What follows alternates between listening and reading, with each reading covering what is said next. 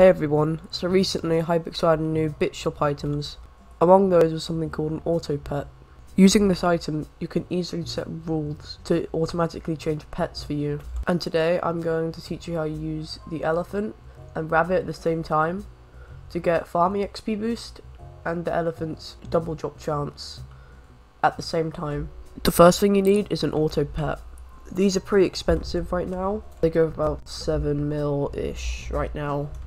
But if you do a lot of farming contests and farming in general, this will definitely be worth it to you. So here's how you use it. You want to go to pets, and once you've used the auto pet, it will appear here. You want to go to create a new rule, and you want to go to when you gain skill XP, farming skill, and then your elephant pet. And you want to go to create a new rule for your second rule and you want to go to when you increase collection and whatever crop you have. So for me I'll just demonstrate it with pumpkins. You can do this for sugarcane this for carrot you can do it potatoes whatever.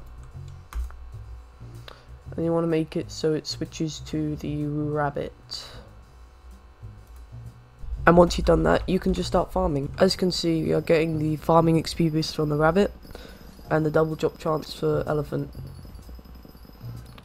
If you found this video helpful then be sure to leave a like, subscribe, follow my Twitch, link in the description, or twitch.tv slash and I'll see you all later.